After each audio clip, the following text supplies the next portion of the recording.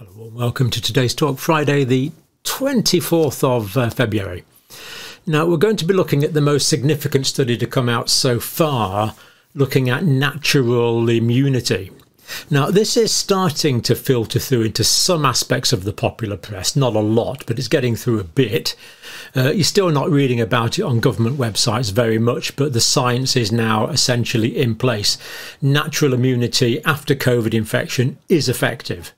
After 40 weeks, it affords at least a 90% protection against severe disease, hospitalization, death, any severe disease, compared to people who have not had natural infection. So if you take people that have had natural infection, people that have not had natural infection, there's a 90% protection in those that have had natural infection, which is equal to or better than the claimed figures for uh, vaccination.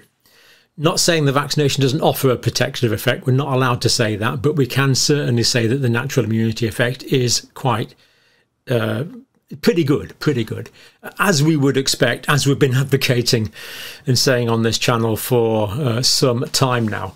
Now, here's the paper concerned. It's actually from the Lancet. Full paper is there. This is the PDF version. And um, what is interesting is this paper is on natural immunity.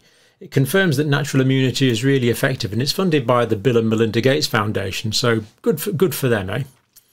So um, let's look at it now. Um, so past infection. So basically, they take two groups: um, group that have had past SARS uh, coronavirus 2 infection. So that's one group, and this is the other group here: no past SARS coronavirus 2 infection. Now you'll see that uh, vaccine is not mentioned there because people uh, studies that looked at hybrid immunity were excluded. Now they did include studies where um, vaccination was accounted for, was controlled for, but if it wasn't, they didn't. So this is almost it's almost like this data is coming from a non-vaccinated world, which makes it all the more uh, impressive in in my view. But but nothing you wouldn't expect because the human immune system can recognize 8 billion types of different foreign antigens. You know, the idea that senior doctors were, um, shall we say, considering the possibility, some might go as far as say intimating uh, that we wouldn't have a natural immune response to COVID is just completely ridiculous. And uh, to be fair, we've always uh, believed that there would be a, a good natural immune response. An effectiveness to past infection was rated by how likely were people to get reinfected, how likely were they to have symptomatic disease, and how likely were they to have uh, severe disease. Now, as you would expect, uh, the findings high levels of protection uh, from reinfection caused by alpha, beta, and delta variants. Now, during alpha times, beta times, and, and delta times, depending on where you lived, there was some reinfection, but of course, nothing like as much reinfection as we've had during Omicron times. More on that in a minute. The figures there are really quite quite fascinating. Uh, lower levels of uh, protection caused by reinfection from uh, Omicron uh, BA1, and indeed we know from subsequent uh, Omicron variants as well. Um, but of course, Omicron's causing way less severe disease, so the reinfection is much less significant uh, than it would have been with these previous variants. So less reinfection in earlier times, more reinfections in later times. And as we'll see, over half of the world's population has had Omicron now. Now, effectiveness against, uh, we'll look at those figures in a minute. Effectiveness against reinfection with the Omicron BA1 variant. So if you've had previous infection, doesn't matter too much what it is, but the protection against reinfection from uh, Omicron BA1 is, is only 45.3%. Uh, protection against symptomatic disease, pretty well the same, really, 44%. So what we see is huge immune escape with the Omicron variant, and we've known this for some time. So if you've had any form of uh, SARS coronavirus 2 infection before, there's still a fairly good chance, uh, if you're exposed to it, that you're going to uh, catch Omicron. So that is the level of protection. And remember that this is um, this is relative to people who've not been infected. So people that have been infected relative to people that have not been infected, 45% protection rate. Not that great, but we know that the subsequent infections tend to be milder. Protection against severe disease if reinfected with BA1 is uh, basically it's 90%, isn't it? So it gives a 90% protection. But remember, this is a 90% protection relative to other people who have um, who have an Omicron who have not had previous exposure.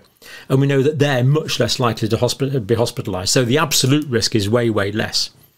But compared to other people with Omicron, it's at 90% level of protection. So natural immunity working really quite well there, stimulating the antibodies, stimulating the B and the T cells, particularly stimulating the T cells, the T cytotoxic cells and uh, the, the T the T helper cells, and as well as the B cells, which actually produce the the the, um, the antibodies. So a wide spectrum of immune response.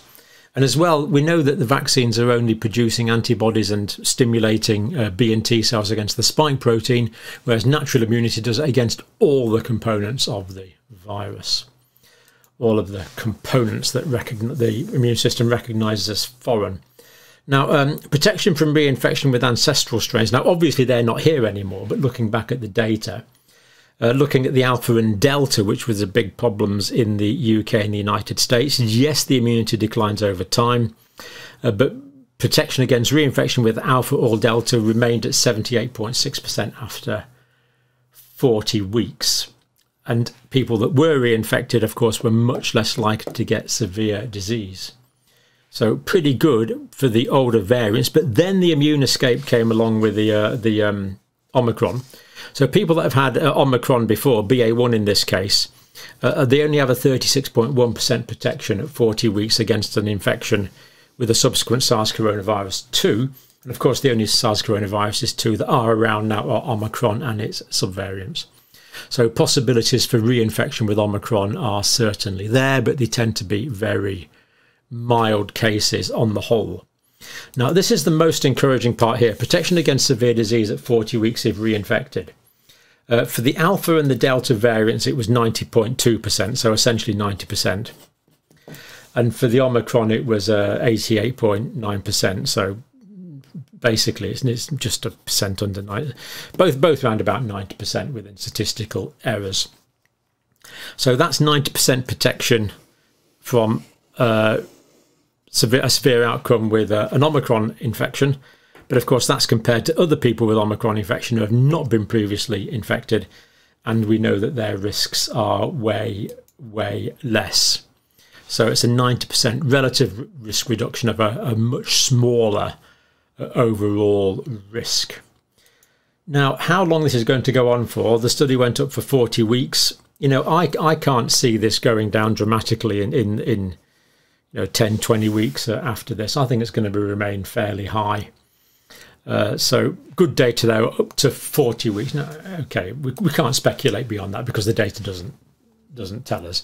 But it, what, what would be surprising is if like you've got 90% protection at 40 weeks and then it go all, all of a sudden goes down to 50% protection. That's got, not going to happen. It's going to wane. I think we can say with certainty it's going to wane gradually as people are protected from severe outcomes. Now, this is interesting. And remember, remember, um, I don't mean to be mischievous or cynical, but this is published. This is uh, funded by Bill, Bill and Melinda Gates Foundation, and the authors actually say something quite profound here. Let, us read. Let, I'll put in the full quote because I don't want to get it wrong. Data suggests that the level of protection afforded by previous infection is at least is at least as high, if not higher, if not higher, and that provided by two doses of vaccine using high quality, what they call high quality. We won't comment on that now. mRNA vaccines is what they say. So, patent admission there that um, the natural immunity is is as good, if not better. Imagine that. Right human physiology is actually better than artificial pharmacological interventions. Just just imagine it. You know the the idea that a lot of very senior people weren't upfront about this right from the beginning is really quite appalling. There's questions to be answered. questions to be asked. They'll never be answered, of course. They've all swanned off with the knighthoods and the the big payoffs um, in, into happy retirement, hopefully for most of them, or leave you to decide whether it's deserved or not, but these questions are never going to be answered. But we can ask them. And you and me all know that they should be answered, that there is a, an injustice here, that these should be answered. But they won't be. But there you go. That's what the study is now showing. Now, this is this is fascinating. As of June the 1st, 2022, a COVID pandemic had caused an estimated 7, 17.2 uh, million total deaths. Now, most of these in people with comorbidities, of course, most of these in the in the uh, elderly, of course. But still, it has to be said, amounting to to a very large number of uh, deaths. Estimated 17.2 million total deaths from a pandemic that was completely uh, preventable. Uh, 6.88 million reported deaths, 7.63 billion total infections. Of course, some people are reinfected. Um, now, between the 5th, no, this is interesting, between the 15th of November 2021, which is when Omicron came along, data just going up to the 1st of June 2022, 3.8 billion people have been infected with Omicron. 46% of the world's population. And of course, this is what? This is a long time ago now. So basically, we know that way over half of the population of the world have now been infected with Omicron. Um, it's probably 60, 70%. We, we, we don't know. All, all we can say for sure is that between November the 15th, 2021 and the 1st of June 2022, it was uh, 46% of the world's population were infected with Omicron. Therefore, it's generating all this massive amount of protection as we said, relative to other uh, people who haven't been infected with Omicron, 90% protects 90% protection against severe outcomes, severe disease, uh, 40 weeks after, and we expect it to last for longer. So this is remarkably encouraging for global natural immunity.